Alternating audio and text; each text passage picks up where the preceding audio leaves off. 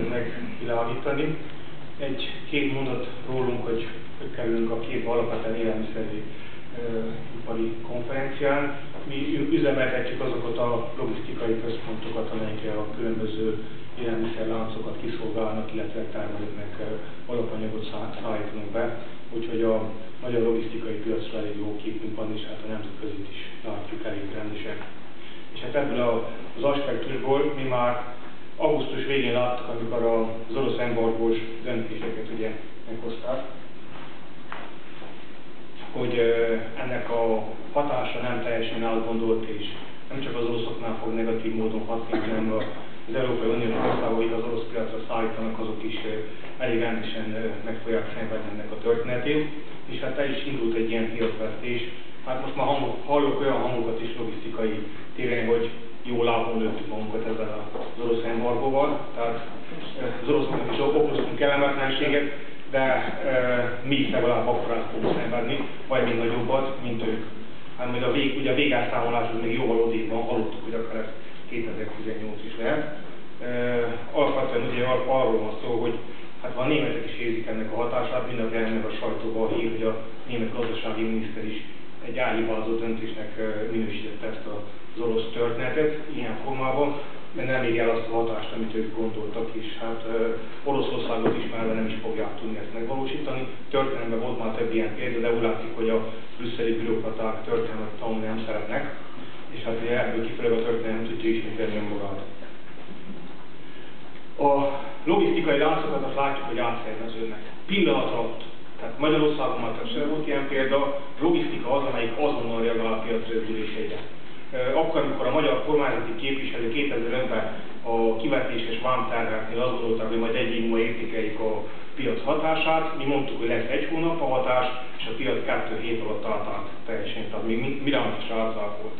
Tehát ilyen gyorsan reagál a logisztika a megváltozott piaci körülményekre. Tehát ez gyakorlatban hogy jelent meg? Kérdeztek, a lengyel termelők azonnal elindultak, hogy hogy találják meg az utat vissza orosz piacra.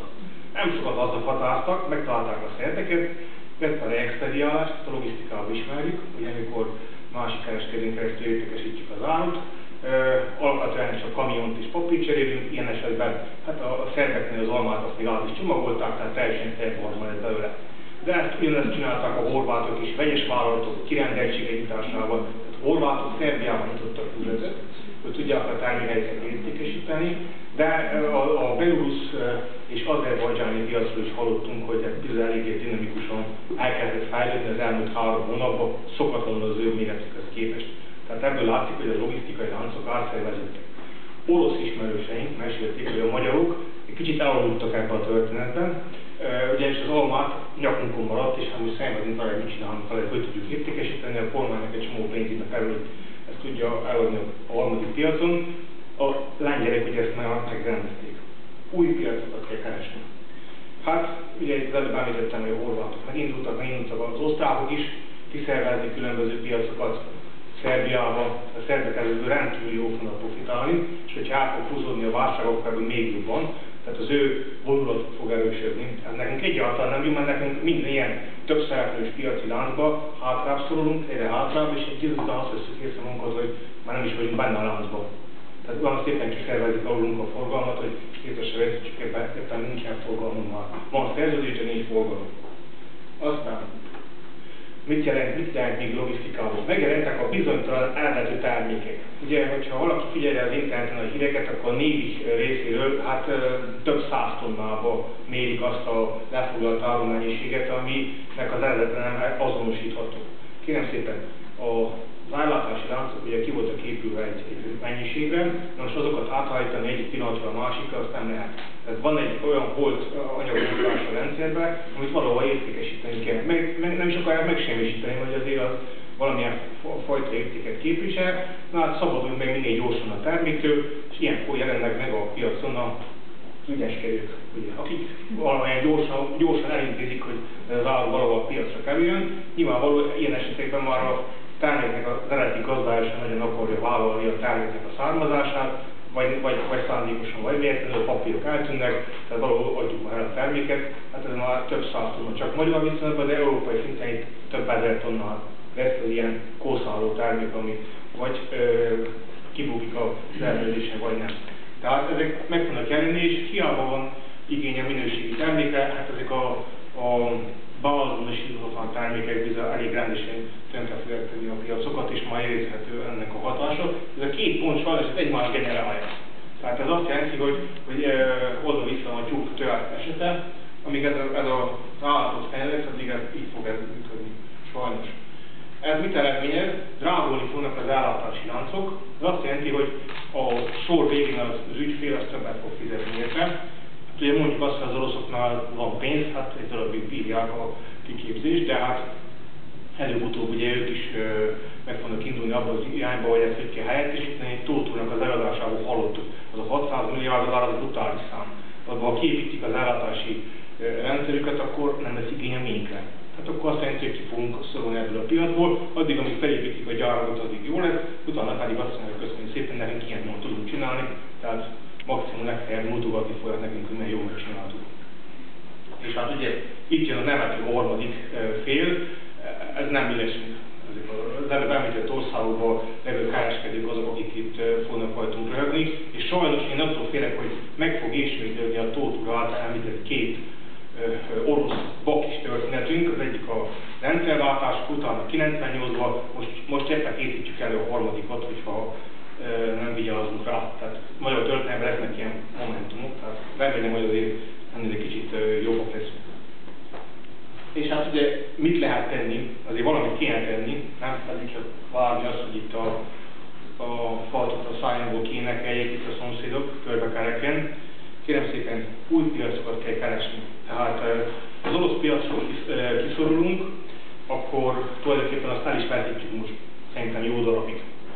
Úgyhogy ha én azt szoktam mondani, hogy ha a többi országnak lehet, azaz a reexpediálás sajátos értelmezéssel, akkor mi is csináljuk ezt meg. Tehát van egy csomó volt szovjet tagköztársaság kereskedelmi megállapodás, keletítás keretében, hát oda kell vinni az állat. Majd ott a helyet megoldják, ez bejusson az orosz piacra, és akkor nem fogunk kimaradni ebből a rendszerből. Kicsit drágább ez a folyamat, de legalább ott leszünk benne. Aztán szépen ezekből tovább építkezve ki lehet építeni ezt a rendszert, hogy ne kerüljük le a térképről, már egyszer lekerültünk, kutyamódon nehéz oda visszamászni. Aztán mit lehet még csinálni? Ezekre a, ugye vannak ezek a bizonytalan eredetű állatnak a jövése, menése. A kormány kitalálta, hogy legyen ilyen áru útvonal ellenőrzési rendszernek ilyen nagyon jó kiállítható EKR, nem tudom, beleteljük, hogy nyáron mindig van ezt ki akarom mondani. Ez alapvetően egy nagyon kiváló gondolat, de ez semmit nem fog megoldani, és nem fog azt a hatást eredményezni, amit a kitalálói gondoltak, csak azt, hogy a logisztikai láncokra jelentősen nagyobb adminisztrációs fog rákerülni tulajdonképpen duplán fogunk rögzíteni mindent. Tehát ez egy kis cég, akinél a adminisztráció sem nagyon van, hanem valamelyik kolléga csinál az adminisztrációt, plusz embereket kell fejlődni, hogy nem tudnak igazdálkodni. Tehát ez egy nagyon rossz, ha így marad, egy nagyon rossz megoldás lesz. Mi tudunk egy jobbat ennél. Kérem szépen, a, ugye van nekünk egy útdíj ellenőrző rendszerünk, van ez az árvanyomon követési rendszerünk gondolat. Kérem szépen ezt, ha kiegészítik egy elszámlázással, mint amit a, ugye a pénztárgépeknél kitaláltak, illetve bevezetik az e levelet, az azt jelenti, hogy az egész elektronikusan és a NAV-on keresztül megy, akkor tulajdonképpen a teljes logisztikai lánc valamennyi folyamata ellenőrzés alatt van.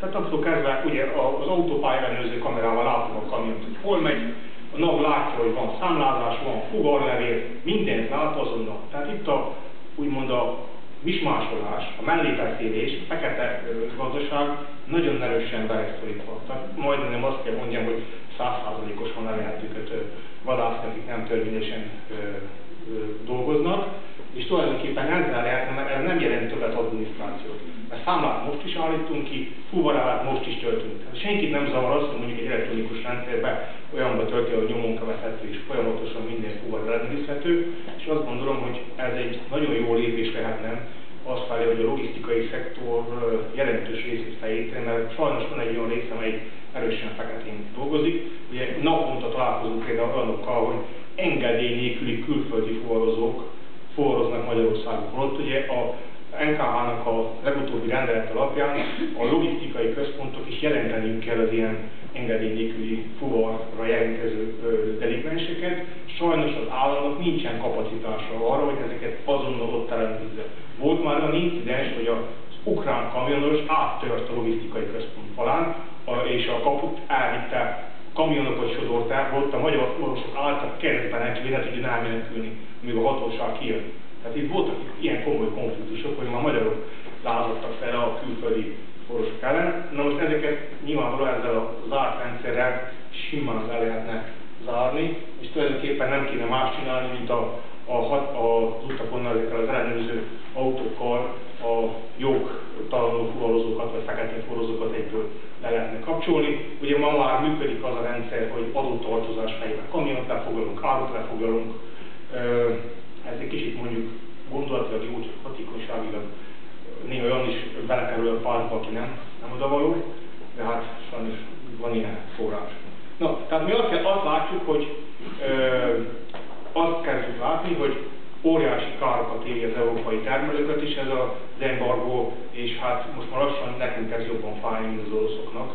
Még csak egy történetet mondok, mellé befejeztem az előadásomat tavasszal, a május környékén beszéltem oroszokkal, akkor még nem volt ukrán válság, semmi, tehát minden dübölgött rendesen, ők mesélték, hogy náluk 20%-os a munkaerő hiány. Nem munkanélküliség van, hiány van. Nem tudnak annyi embert munkába állítani, amennyire igényük van. Tótónak az eladásához kapcsolódik ez is, hogy ha ennek vége lesz ennek a válságnak, akkor nagyon gyorsan talpra fognak állni, és korán sem fogja őket annyira megérinteni, mint amennyire a brüsszeli bürokraták gondolták, nekünk viszont jobban fog fájni reméljük, hogy azért tudunk ezen valamit mérsékelni, mi ezen dolgozunk is. Hát köszönöm szépen a megtisztelő figyelmüket, remélem nem húztam túl, és tudtam értékes dolgot is mondani.